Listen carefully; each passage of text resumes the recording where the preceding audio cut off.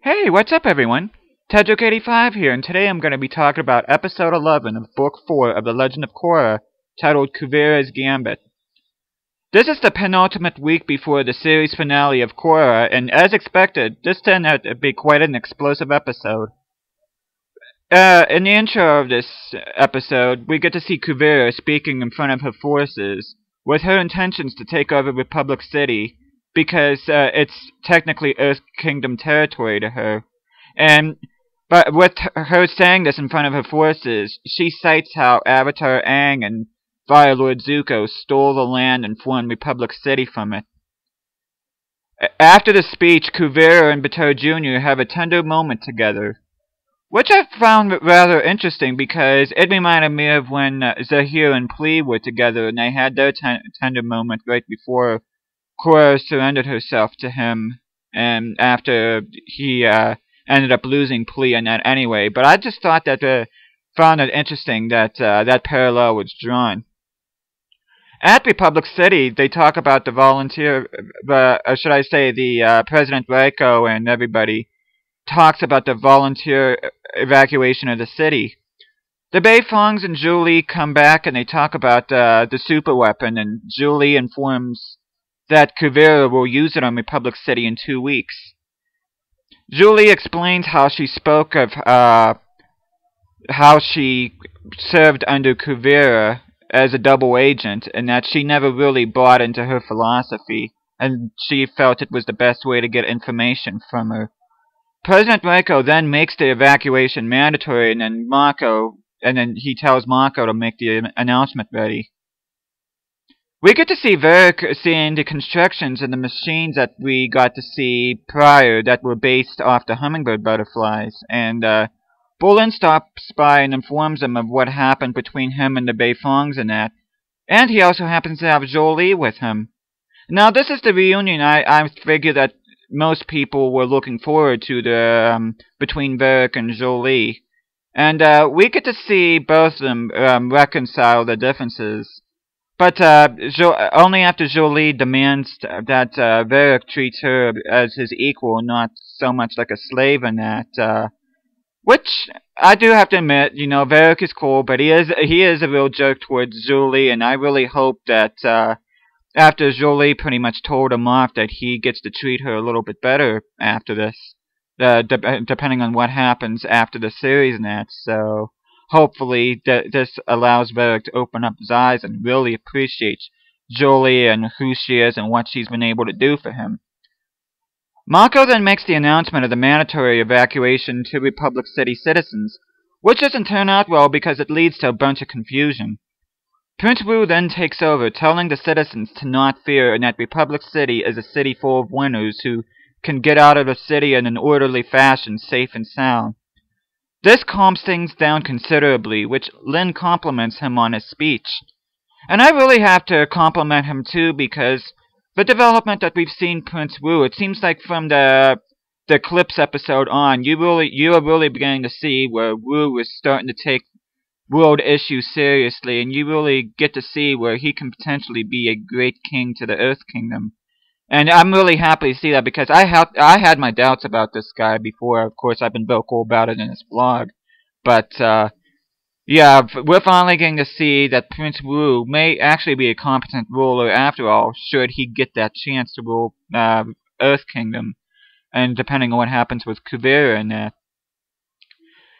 Pema and her family are staying uh, in Republic City, and she tells Tenzin that uh, she and the family are going to do whatever it takes to help Republic City. Tenzin uh, tasks the kids with helping the other airbenders watch out for Kuvira's army. We then get a shot of Republic City evacuated with Kuvira's army approaching. President Raiko is staying on Air Temple Island where Korra informs him, Tenzin, and Lin that she and the crew are going to take out Kuvira's spirit weapon before it reaches Republic City. Despite Tenzin's objection to this idea, Korra explains that it is a risk worth taking, which President Raiko agrees. And we're getting to see Korra once again building the confidence in that that she had in Book 3, where she felt comfortable trying to resolve issues in that. And that's something we really didn't see early on in this book, and And you can definitely tell ever since she managed to cope with things after what happened with her and Zaheer and how Zaheer was able to help her reconnect spiritually and that, you can really sense that Korra is beginning to get her mojo back and she's ready to tackle this thing head on. Later on, we see Commander, I uh, Commander Iroh's forces uh, making a startling discovery that Kuvira's forces are a week early, and that the spirit weapon has been assimilated into a giant mechanical robot of sorts. Which, I'm not really surprised by this, and I don't think many people are either, considering that the episode after this is titled Day at the Colossus. And uh, Colossus pretty much means like a giant statue or a robot for those that don't know what that is, and uh, which I'm sure most of you do. do so, but um, but yeah, we get to see this giant mechanical robot in that, and we get to see the cannon of the spirit weapon on its right arm. And uh, unfortunately for Iroh's forces, they end up getting obliterated by this thing as it shoots right at them, and where they're um, keeping a watch out for Kuvira's forces. Korra and the crew, uh, and her crew rather, fly on a sky bison where they see the giant robot. We see that Kuvira is the one controlling the robot, and she tries to blast Korra and the crew out of the sky. They manage to uh, barely escape while Kuvira doesn't go after them, stating that nothing can stop her now. Korra then returns where she informs Tenzin that their intel was wrong and that Kuvira must have known that Li had the information in regards to her plans. Tenzin informs Korra that they are not ready for an attack which President Raiko orders Commander Iroh and his forces to lock down Republic City. Asami asks go, uh, for everyone to go to her factory where the metal suits she and Varrick designed are, and that they need to get them ready, and Suyin offers her help as well. We then see Prince Wu and Pema evacuating the rest of the citizens out of the city while Republic City forces and Kuvira's army are at a standoff. We then see Kuvira and the giant Colossus arrive, where she uses the spirit weapon on Republic City ships when President Raiko asks her to stand down. She then issues an ultimatum. Either President Raiko surrenders Republic City in three seconds, or she will wipe out his army.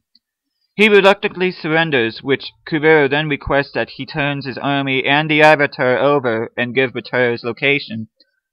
Which shouldn't be a real surprise to anyone, considering how Kuvira was able to use her force in that to take over the Earth Kingdom states at the beginning of this book, and uh, we get to see that uh, she is very much like Azula in the fact that she can manipulate and she can she has an uncanny ability to get her way no matter what the situation is and as long as it, as far as we see anyway, that she's getting her way again with uh, taking over Republic City. After hearing Raiko surrender Re uh, Republic City, Korra refuses to turn herself over while Iroh tells her to find a way to defeat the giant robot. She meets back up with the others at Asami's factory where she, where she tells him her idea of capturing Baatar, since he's the only one that can stop Kuvira's robot. Korra, along with Tenzin, Bumi, Jinora, and Kai, fly over to Baatar's airship, where they succeed in capturing him without anyone noticing. They take him back to the factory and interrogate him. Korra threatens to get inf information from him by force. Then Su tries to reason with him that what he's doing isn't going to make anything better. Finally, Korra realizes that the best way to get to him is by telling him that she will make it her life's mission that he will never get to see Kuvira again as long as she continues her pursuit of Republic City. And I thought this was really cool. I thought this was a really cool moment because we finally get to see just how far Korra has gone since the beginning of this book. We get to see her development from this broken character that we saw from the book 3 finale to someone that really gets the sense that she has the ability to control the situation and we get to see how her idea of making Baatar almost like a uh, bargaining chip for Kub try to reason with Kuvira during this uh, tense moments.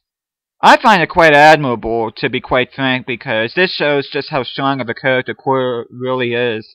That she's able to bounce back from set um, the trauma of her Zaheer battle, and being able to really take this thing head on, and uh, much like I said before, but uh, we're finally getting to see her truly act like the avatar that she was before her traumatic moment at the end of Book 3. Meanwhile, Baatar's airship arrives at Air Temple Island where his guards are baffled that he isn't inside.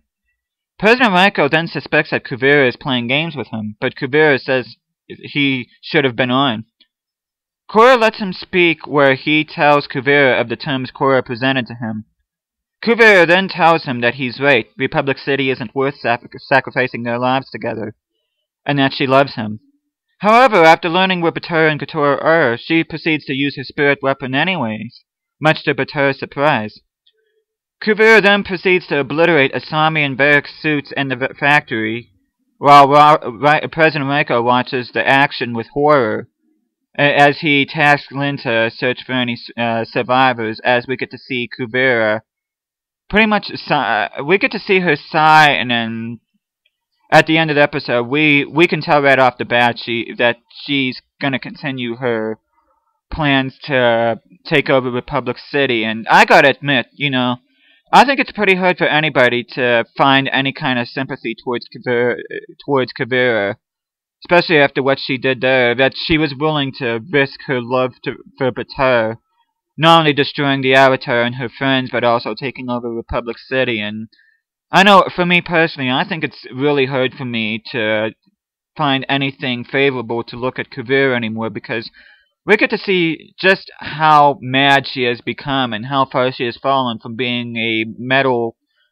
clan guard that was uh, faithful to Su in Book 3 into, quite frankly, turning into this big monster in Book 4. And uh, she, she's definitely puts me in mind of uh, Firelord Ozai at the end of Book 3 of, of the original series, where he was willing to wipe out the entire Earth Kingdom in order to form a new empire from the ashes, where he uh, becomes the Phoenix King, and uh, we get to see the same thing here, which uh, you get to see Kuvira early on in the episode, even that she was she didn't bat an eye whatsoever destroying Iroh's forces or the ships or even Asami's factory, so she's not going to bat an eye whatsoever to, that she destroys as much as she can in order to seize control of Republic City and stop the Avatar once and for all. And um,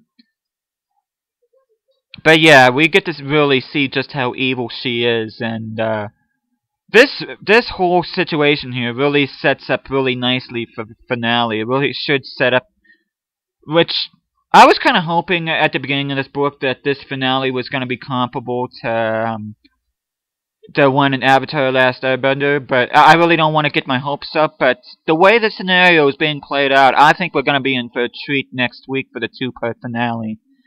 Because not only uh, do are we do we have to find out what Korra and her crew is going to do about the Colossus that Kuvira is controlling, but we're also going to have to figure out exactly what their plans are regarding stopping Kuvira herself, because stopping the giant robot is just one step. It's actually bringing Kuvira's forces and Kuvira herself down. That's going to be a tall task for Korra and uh, the everybody that's left in Republic City. And uh, you really, it's I, I I know I know in the original series we got to see Aang through like all having to go through the Air Nomad genocide and that, and having to deal with Fire Nation and what they're gonna do when Sozin's Comet arrives and for me, I get that same vibe when I get this because uh, the stakes are high like it was back then, and uh, everything's well, not most everything seems to be resting on Korra's shoulders since it's her uh, uh, responsibility as the Avatar